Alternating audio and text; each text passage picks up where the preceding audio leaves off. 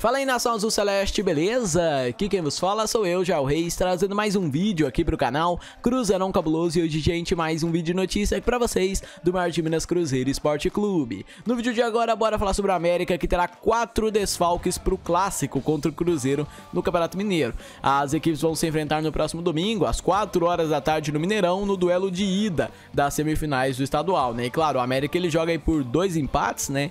É, dois empates, uma vitória e uma derrota pelo mesmo saldo de gols, então ele eles entram com essa vantagem bacana para se classificarem para as semifinais. E o Cruzeiro ele tem que buscar a vitória, buscar o bom resultado, né? Eu não vou falar muito assim, ah, primeiro jogo no Mineirão, segundo no Independência, mano de campo dos caras lá, né?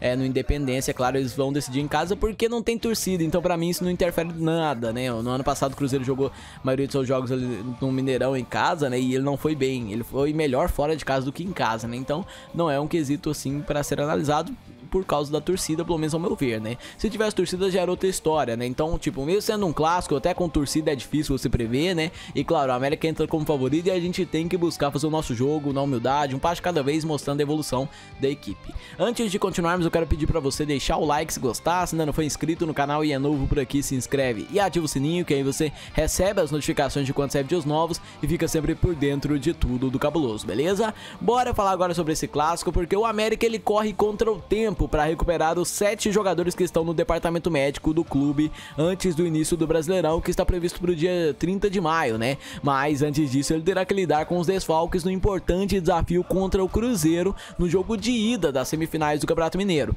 A partida será realizada ali no próximo domingo, dia 2 de 2, 2 de, de maio, né, que vai ser, né? Nós já estamos em abril agora, né? Mas aí, tipo, amanhã, depois já é maio, né? Então, o jogo vai ser nesse domingo, às 4 horas da tarde no Mineirão, em Belo Horizonte, né? E é o jogo da ida das semifinais. E ao todo, Quatro atletas estão fora da partida por problemas clínicos. São eles o lateral esquerdo Lucas Luan, os atacantes Marcelo Toscano, Leandro Carvalho e Léo Passos, e nenhum desses jogadores participou do treinamento desta quinta-feira, dia 29, no CT Lana Drummond. O reserva imediato João Paulo, que é o defensor Lucas Luan, se recupera de uma lesão na coxa esquerda, enquanto Marcelo Toscano, que é outro jogador muito utilizado pelo técnico Lisca, trata uma lesão no músculo da coxa direita. Já o Léo Passos sofreu uma lesão muscular no adutor direito e também estava vetado. Por sua vez, o atacante Leandro Carvalho foi poupado da partida contra o Ferroviário do Ceará pela segunda fase da Copa do Brasil, em 14 de abril, após sentir um desconforto muscular. Ele ainda não retornou à equipe e, como por exemplo, a gente tem também é, um jogador ali do América que está em fase final de recuperação de uma lesão na coxa esquerda, que é o meio campista Giovani.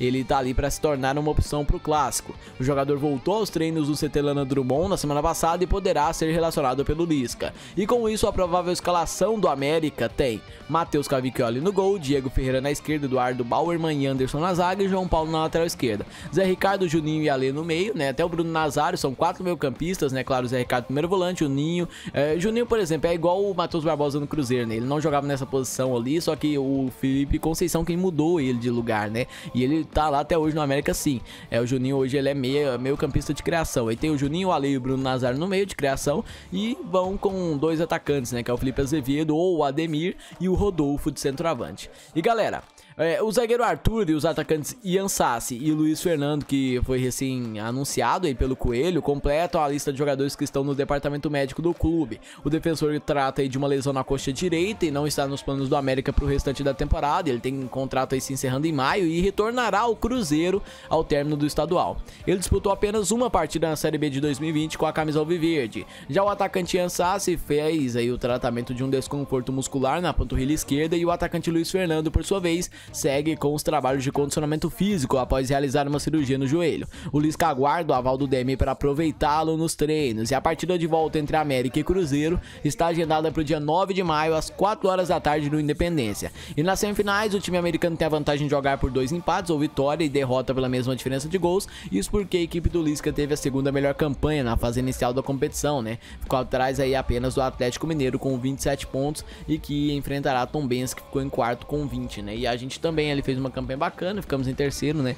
É, mas vamos ter que tirar essa vantagem, né? Até se o Cruzeiro chegar na final, ele tem que tirar essa vantagem, então é, eu não vejo isso como um, um, grande problema, assim. Eu quero que o Cruzeiro jogue para a sua partida, mesmo se ele não for classificar, né, se ele não, não conseguir bater o América, né, que ele mantenha o seu estilo de jogo e mostre uma evolução, né, até porque o nosso objetivo principal é a Série B do Brasileirão, né.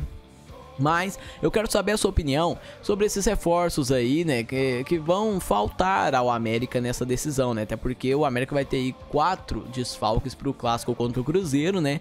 E eu quero saber se você acha que são jogadores que vão impactar ali, né, pro Lisca. Eu acho que não, eu acho que ele tem ali boas sugestões para colocar. Eu acho que todos esses jogadores que estão machucados, que não vão pro jogo, são reservas, né? Então não, não tem problema nenhum. E eu acho que é bom o Cruzeiro ficar de olho no Bruno Nazário, que é um jogador muito qualificado, joga muita bola, fez gol de falta contra o RT na última rodada do Mineiro, né?